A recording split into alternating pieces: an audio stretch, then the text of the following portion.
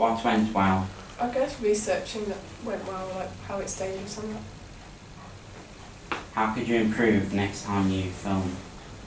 I guess if I brought up of a video idea, like how I want to film it.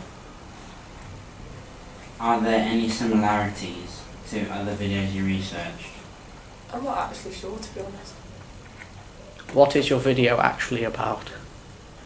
It's about is Facebook actually dangerous? The Facebook app, Facebook Messenger App.